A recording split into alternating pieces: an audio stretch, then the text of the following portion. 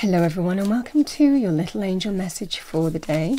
It's a message that's meant to find you when you need to hear it the most for advice, guidance, support, even. So, let's see what we have for the day. I'm going to choose from this deck because the cards tend to stick together, as you can see.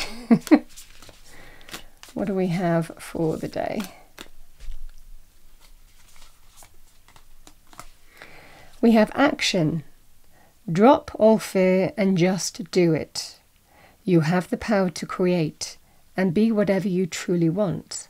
Look inside your heart and take positive action in those things that bring you closer to achieving your desired goals. Nothing can stop you except your own fears.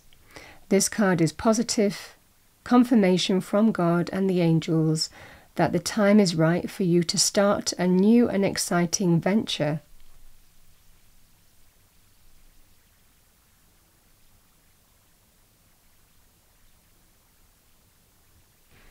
That is the message for the day. I hope you enjoyed it. I wish you a wonderful day. I will see you next time.